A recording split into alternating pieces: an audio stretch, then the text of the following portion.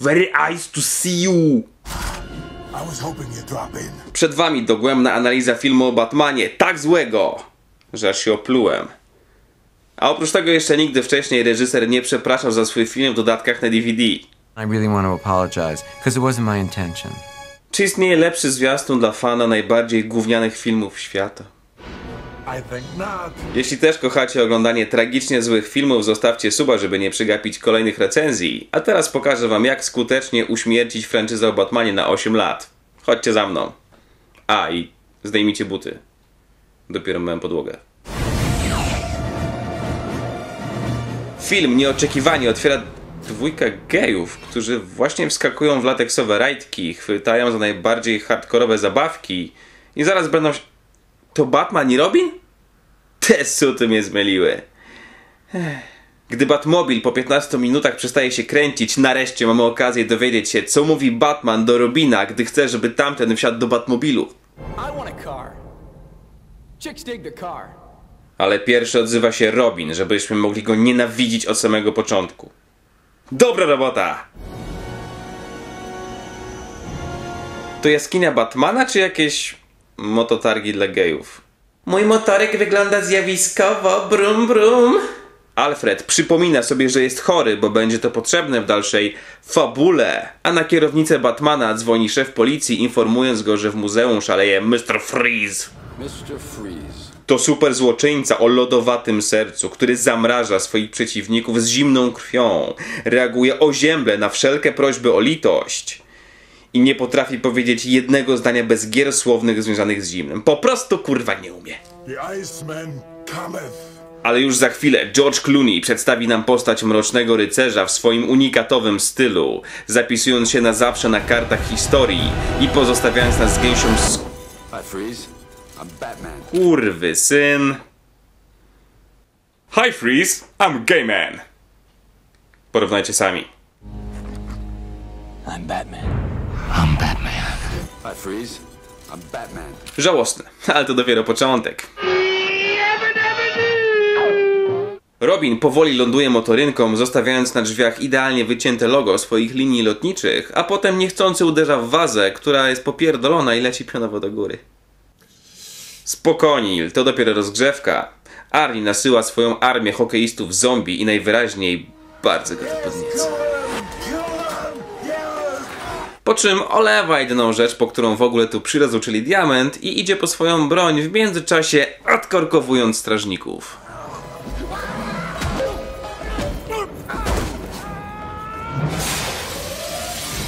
Batman i Robin przypominają sobie, że przecież mają batłyżwy, więc nareszcie mogą dołączyć do gry w hokeja diamentowego. Nie byłoby łatwiej po prostu złapać go w dłoni i schować do kieszeni? A, chcecie grać fair play. Spoko, szanuję. Zdradzę wam sekret.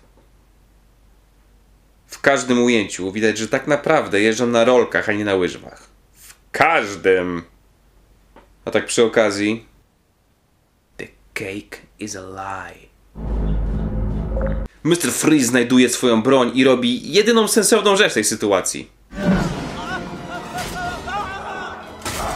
Rzuca strażnikiem, dokładnie. Tymczasem gra w hokeja trwa w najlepsze, a mnie męczy jedno pytanie. What killed the dinosaurs? Mam też kolejne pytanie. Nie łatwiej było zamrozić Batmana i Robina zamiast marnować czas na czerstwe gry słowne i trwające wieki zamrożenie makiety dinozaurów, której się wystarczy odsunąć? Nie? Aha. A jakaś sugestia, dlaczego słychać jęk dinozaura, gdy makieta upada na ziemię?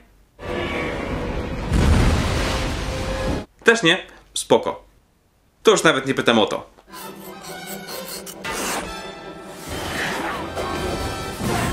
Ani o to. Mimo, że Arnie stawia krzywo swoją maczugę, to i tak bez problemu wylatuje przez szyberdach i odkrywa swój kolejny fetysz. Pstrykanie. Zakuwa Batka w lodowe kajdany i dalej go torturuje grami słownymi. The ice cold. Po czym zostawia go samego na zamarznięcie i zamienia się w pięknego motylka. Motylem jestem. Robin przybywa z kolejną porcją sucharów i trochę pomaga. Po czym ewakuują się w najbardziej niedorzeczny sposób, jaki widziałem. Zaraz potem odzyskują diament, bo nikt w tym uniwersum nie ma kieszeni. Po czym nietoperz odpina skrzydła motylkowi i wszystko wskazuje na to, że cała trójka zginie, więc Robin drze mordę ze szczęścia! Wszyscy wpadają do komina i okazuje się, że broń Arniego działa też antygrawitacyjnie. Super! A chłopaki bez trudu trafiają bat kotwicami w kilkucentymetrowe otwory, lecąc w zerowej widoczności jakieś 200 km na godzinę. Macie jakieś pytania? Jednak Robin nadal jest kretynem i stojąc jakieś 5 metrów od Arniego rzuca się w jego stronę i zostaje zamrożony w powietrzu. Nawet gdyby doleciał, to co chciał zrobić dalej? Zawiązać mu szturwadła na supeł, czy nasikać do buta? Mr. Freeze odzyskuje diament i ucieka, a Batman wrzuca zamarzniętego gluta do wody i ją podgrzewa. Do czerwoności! Chociaż ja bym raczej skorzystał z okazji i wyjebał go na śmietnik, ale okej. Przenosimy się teraz na upiorne zamczysko, gdzie szalona Uma Thurman próbuje skrzyżować zwierzęta z roślinami, ale doktor Woodru ciągle podbiera jej jad węża do swojego tajemniczego laboratorium.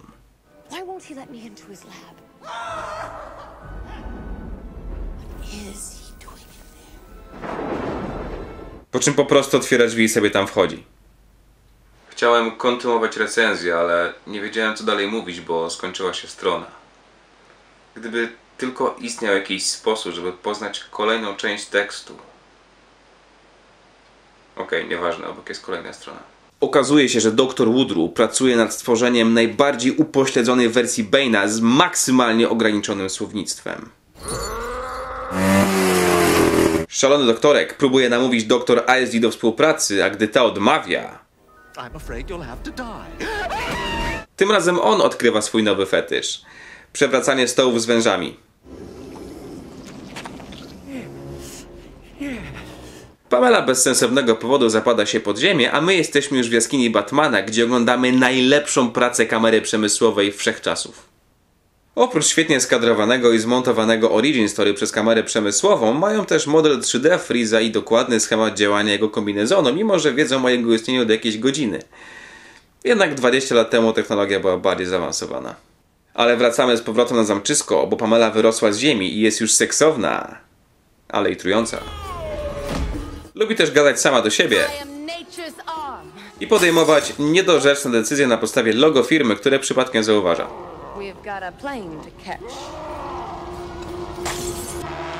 Tymczasem w bałwanie po lekcji śpiewu Arni woła do siebie jednego z lodowych zbirów tylko po to, żeby nie gadał sam do siebie, zdradzając ten swój kretyński plan. Więc chce zdobyć drugi tak wielki diament, żeby zasilić swoje lodowe działo, którym zamrozi całe Gotham City, żeby później zażądać okupu. A dopóki go nie dostanie, zima na zawsze zapanuje tu w Gotham! A co zrobić z pieniędzmi, gdy je dostanie? Zamrozi na lokacie!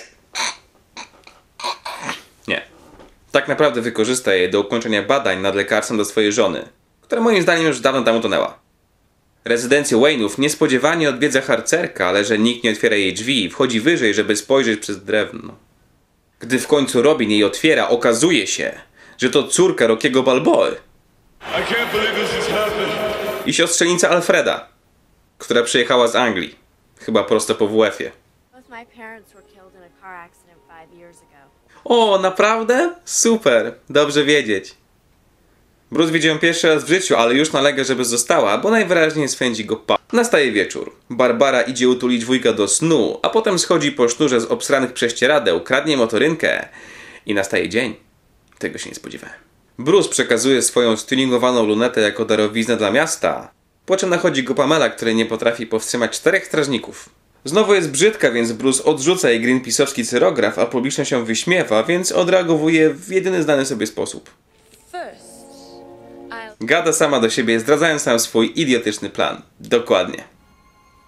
W tym czasie Mr. Freeze ogląda swoje wesele na drzwiach od zamrażarki, po czym łyka przynętę zostawioną przez Batmana jak pelikan. Bruce Wayne diamonds. Hmm. Very nice. Odbywa się jakaś idiotyczna impreza charytatywna, na której Batman i Robin są gośćmi specjalnymi, licząc na schwytanie pana zamrażarki. Think Freeze will take the bait? He'll be here.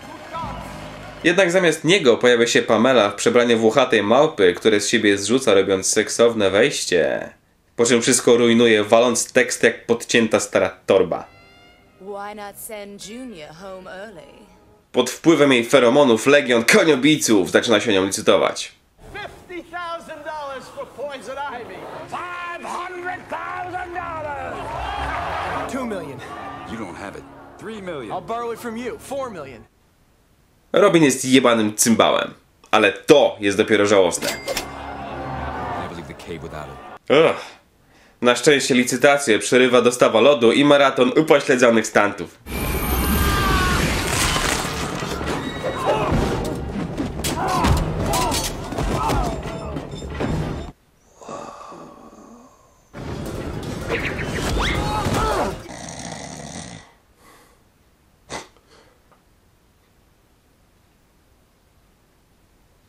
Arnie podbiera diamenty od Poison Ivy, która chyba ma ochotę pójść z nim na lody, po czym ucieka swoją lodziarko-zamrażarką A-klasy.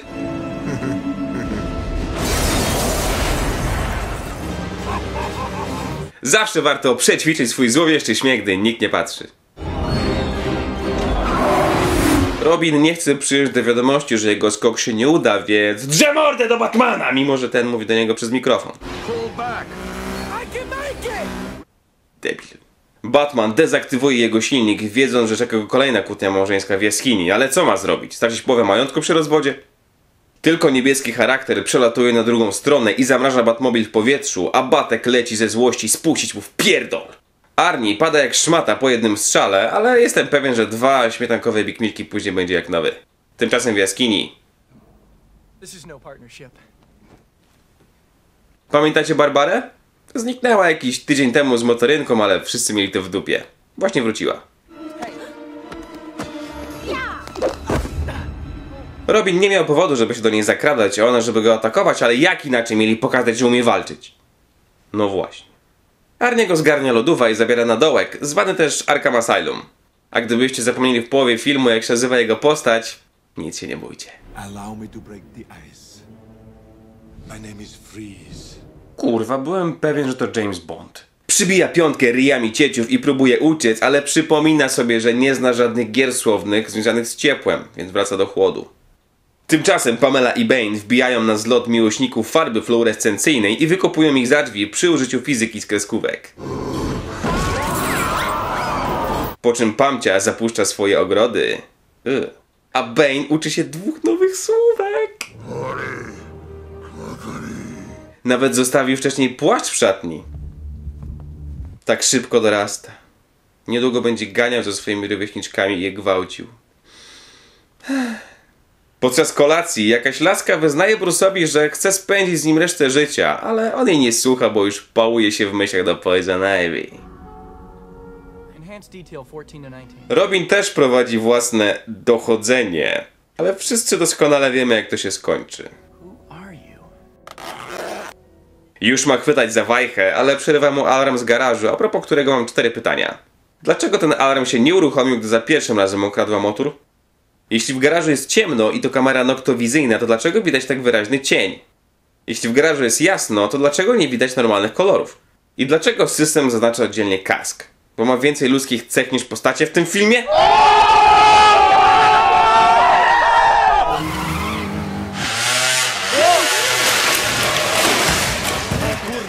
Przepraszam, jesteście sali? Przenosimy się teraz w niebezpieczny, ekscytujący świat nocnego jeżdżenia wokół słupa. Wow! Woo! Barbara wydaje całe swoje kieszonkowe na udział w niskobudżetowym teledysku techno pełnym darcia ryjów.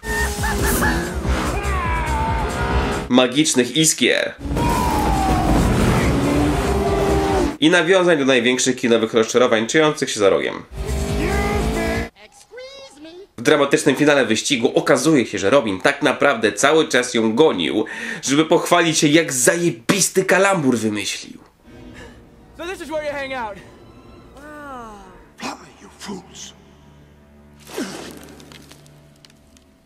Pan zamrażarka tymczasem reklamuje zestaw Lodowa Pozytywka, zrób to sam.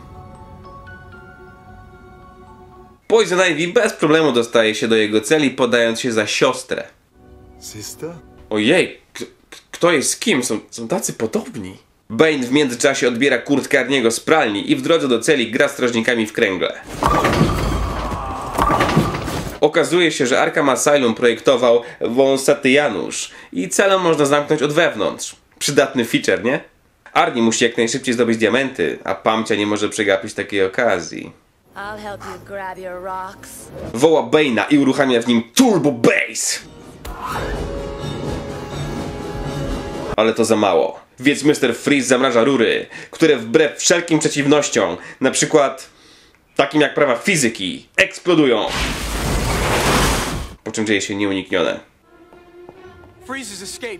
Razem z Poison Ivy wybierają się na lody do jego miejscówki, ale są tam już nieproszeni goście, więc Arnie przerzuca wajchę i robi policyjnego rożka. Chociaż wystarczyło zrobić dwa kroki w bok, ale... Nie. Batman i Robin podążają tropem Poison Ivy, a gdy schodzą do Pawlacza, okazuje się... No beauty. Just the beast. że lubią razem oglądać bajki Disneya w jaskini, a później do nich nawiązywać. Spoko. Komisarz Gordon ostatkiem sił przerzuca wajchę na ogrzewanie i od razu robi się jakoś ciepłej na serduszku. Chociaż zastanawia mnie, po jaki chuj Mr. Freeze zamontowałby ogrzewanie. W końcu dobiera się do swojej armaty i wykopuje policjantów jak niechcianych kolędników. Poison Ivy tymczasem uwodzi Super Wise'y, starając się ich ze sobą skłócić, co dziwo jej się udaje, bo Robin nie dokończył wcześniej rękodzieła i spermą zalewa mu wzrok. Pamela lekko chwiejnym krokiem pozbywa się konkurentki, a później wykolegowuje Batmana i zwala wszystko na niego. Batman. Skarży pyta. Arnie urania najbardziej niszczoną łzę, jaką w życiu widziałem. Co tylko potwierdza fakt, że chwilę później szczerze kły z podniecenia, gdy postanawiają połączyć siły. Arnie zamrozi cały świat, a Poison Ivy zamieni go później w swoją dżunglę. Nichuja to nie ma sensu. Na imprezie z okazji teleskopu pojawia się Pamela i wyciąga z Gordona najbardziej sekretny sekret, jaki kiedykolwiek trzymano w tajemnicy. Gdzie stoi reflektor z symbolem Batmana? It's right on top of police headquarters. O, ale chytrze. Kto by tam zajrzał? I will turn Gotham into an icy graveyard. Then I will pull Batman's heart from his body and feel it freeze in my hands. Ah. Revenge! Motywacja postaci!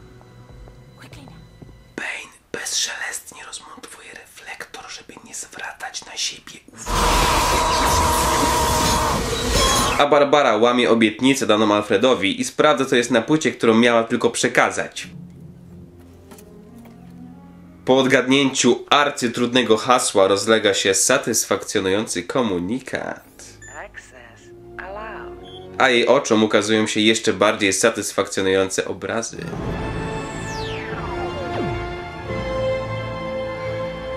Arnie zabiera Bane'a na przejażdżkę swoją lodową drezyną, żeby nie było dziwnie, gdy będzie opowiadał o planie powiększenia swojej armaty. No matter what they tell you, Mr. Bane, it is the size of your gun that counts. Gun. Na niebie pojawia się symbol Robina, który czekał na to cały dzień pocąc jaja w kombinezonie. Ale cierpliwość Brusa powoli się kończy i przestaje już przebierać w słowach. She wants to kill you, Dick. Idealny moment, żeby pierwszy raz zwrócić się do niego po imieniu. Podczas kłótni Bruce wyciąga kartę no przyjacielowi, partnerowi, bratu, nie zaufasz? I Robin przegrywa to rozdanie. A do obserwatorium wdzierają się Mr. Freeze i Bane. Po wprowadzeniu odpowiedniego nastroju dzięki nowym lampom z Ikei, Arnie powiększa w końcu swoją armatę i cieszy go to. Oj, cieszy.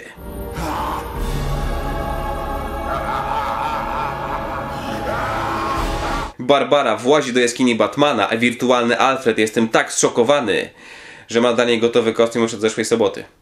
Nie łatwiej było jej po prostu o wszystkim powiedzieć, zamiast pokryjomu pobierać z niej wszystkie wymiary bez jej wiedzy? A. Barbara chętnie wskakuje w nowy kostium w równie tandetny sposób co Batman i Robin, ale z tą różnicą, że jej kostium ma mniejsze suty. Alfred musiał się nieźle napracować, żeby dokładnie dopasować go do jej ciała. Robin odstawia MZ i odwiedza Poison Ivy, która zdradza mu plany Arniego i daje trujący pocałunek, ale na szczęście Robin miał zwolnienie z wychowania seksualnego i założył kondoma na ryj.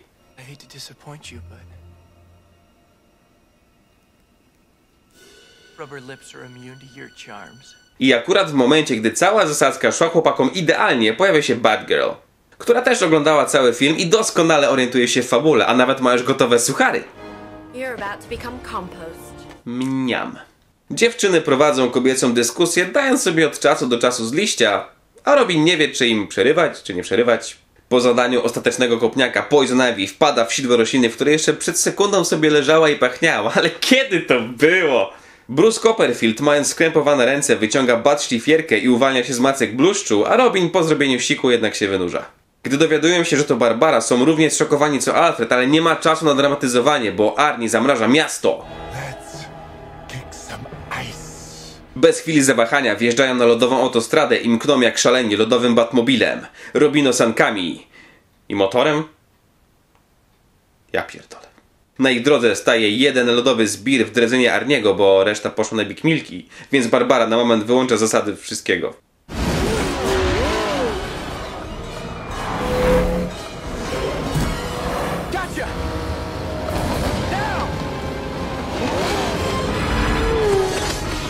Batman... No i fajnie. Wystrzeliwują swoje batkotwice, które mają taki zasięg, że spokojnie złapaliby Boeinga na gapę, a chwilę później Barbara zrzuca maskę i gapi się w kamerę. Deadpool byłby dumny. Arnie chwilowo poszedł postawić sopla, a ich troje wpada na pomysł, żeby przy pomocy satelitów skierować promienie słoneczne na obserwatorium. Zabierają się za odgrzewanie luster, ale wybija 11.54, więc czas na prognozę pogody. Tonight's forecast. A freeze is coming. Barbara i Robin nieuchronnie spadają ku swej śmierci, ale Robin robi użytek ze swojej magicznej batkotwicy i nadal nieuchronnie spadają ku swej śmierci. Na szczęście dwie minuty później Barbara trafia idealnie w szparkę 8 km wyżej i jest cacy. Zaraz potem pada tekst, który mówi każdy, kto wie, że musi obejrzeć ten film. A pani naukowiec próbuje wezwać na pomoc delfiny. Co robi? Gdzie? Okej, zaraz tam przypłynę.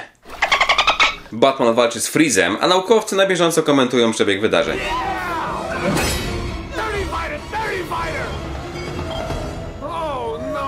Tymczasem Robin i Batgirl wyciągają Bane'owi szlauch ze sterydami i znowu jest żałosnym suchoklatesem. W końcu Arnie przegrywa, a Batman zaczyna rozmrażać Gotham, ale zapomina, że lampy z Ikei są zasilane bateriami Samsunga. Arnie składa jeszcze Batmanowi życzenia i wszystko leci w pizdu. Batman ratuje naukowców, którzy nie mają batkotwic i zostawia ich na lodzie.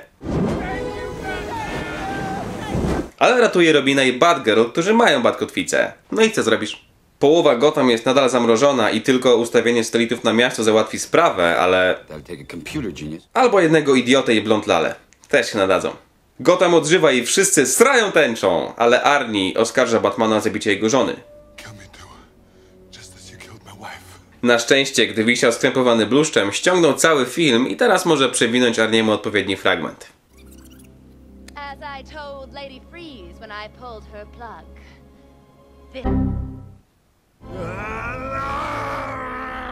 Ale to tylko początek dobrych wieści. Utrzymał też żonę Arniego przy życiu. Arni cały czas miał przy sobie skitrane antidotum na chorobę Alfreda i gotową receptę. Nad ranem Alfred jest zdrów jak ryba, wszyscy przybijają sobie piątki i spierdalają z planu, zanim ktoś wymyśli nakręcenie sequela. I w taki właśnie sposób zabija się franczyzę o najbardziej ukochanym superbohaterze na 8 lat. Przynajmniej dzięki temu dostaliśmy trylogię Nolana. To w sumie tyle. Zostawcie suba i łapę w górę, żeby nie przegapić kolejnych recenzji. Do następnego.